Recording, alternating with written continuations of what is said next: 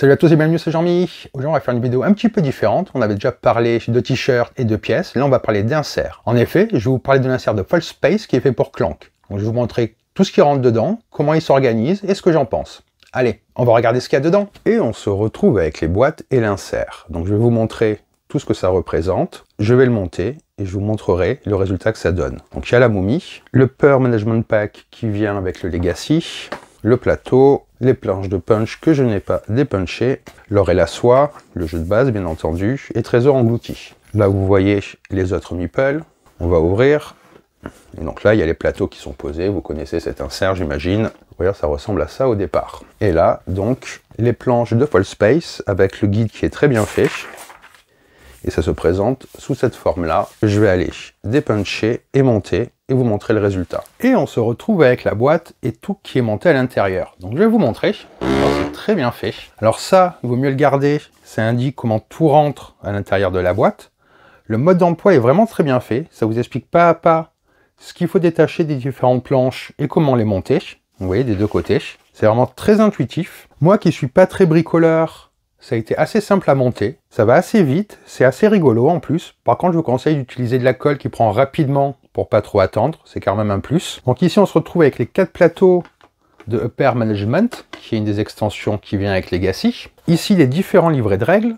Donc ce qui rentre dans la boîte, comme je vous l'ai dit, il y a, c'est le jeu de base, Trésor englouti, l'or et la soie, ainsi que l'extension de la momie. Là, le Seigneur du Temple Singe, on peut y mettre le matériel, mais on peut pas y mettre le plateau. Ce qui est quand même déjà une très bonne chose, parce qu'il y a tout qui est au même endroit. Donc il y a tout qui rentre parfaitement, vous voyez, c'est pas surchargé.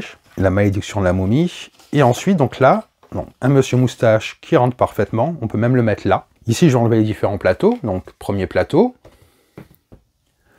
deuxième plateau qui vient tout seul, troisième plateau, et le quatrième plateau. Donc vous voyez, vous pouvez mettre quatre plateaux dans une seule boîte. C'est vraiment quelque chose de très sympa. Donc ensuite, ça va ressembler à ça. Ici, donc les pièces, premier étage. Deuxième étage, encore des pièces. Et là, différents jetons qui viennent des extensions avec les dés. Ici, vous allez pouvoir ranger les cartes. Je vais vous montrer à quoi ça ressemble. Sur le devant, là, on peut mettre les decks de départ du jeu de base, et on peut ranger les cartes par extension. Ce que j'ai fait, c'est que dans un sabot, il y a une première extension. Dans un deuxième sabot, une deuxième extension. Les cartes que l'on se sert du jeu de base, donc les mercenaires et ce genre de choses. Et ici, ce sont les cartes des decks spécifiques de Pair Management Pack. Donc il y a tout qui est rangé par extension, ce qui est vraiment un plus pour la mise en place et pour le rangement. Donc j'enlève un deuxième, un troisième. Là, les plateaux marchés. Si vous avez comme moi les extensions, on commence à en avoir quelques-uns. Et le quatrième sabot, qui vient aussi tout seul. Là, ce sont les cartes du jeu de base, qui viennent avec deux sabots très sympas. Comme ça, ça vous fait aussi une pioche. Moi, ça, j'aime bien. Vous avez tout à sortir directement. Il y a vraiment un gain de temps qui est vraiment sympa. Là, le matériel pour les joueurs.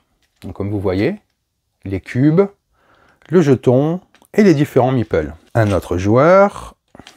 Et donc là, tout rentre très bien pour le matériel des quatre joueurs. Ici, on a un emplacement pour les cubes noirs, pour le marché, et pour différents secrets qui viennent des extensions. Et ici, pareil, ça vient des extensions. Là, pour mettre quatre figurines, donc c'est sympa. Vous pouvez changer en fonction de ce que vous avez. Hein. Je vais pas essayer avec les autres figurines, mais je pense qu'elles rentrent également. Ici, le sac, qui est conseillé qu'on range tout de mettre en dernier, mais qui du coup rentre très bien dans la boîte. Ici, les dragons et les différents meeples qui proviennent des extensions. Tous les jetons d'extension, les artefacts, les secrets mineurs et les secrets majeurs. Donc vous voyez, il y a tout qui est apporté. Ça va très vite pour ranger. Ça va très vite pour tout sortir. C'est vraiment assez agréable. Et donc là, les dés et d'autres jetons, encore une fois. Donc il y a tout qui rentre. Bon, bien sûr, faut jeter l'insert qui a de base dedans. Mais ça vous fait une boîte que vous pouvez sortir en très peu de temps.